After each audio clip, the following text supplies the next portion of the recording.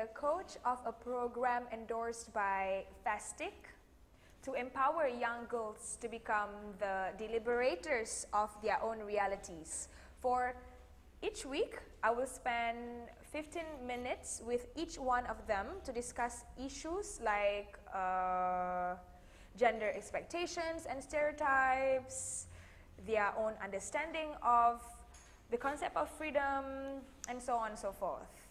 So today is actually the first time where we met face to face to further discuss issues that have been um, discussed before.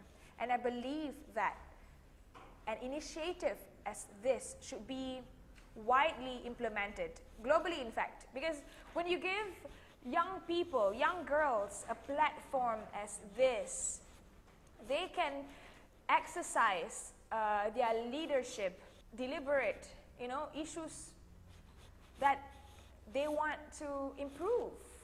And therefore, they can further improve their own lives as well as the lives of others.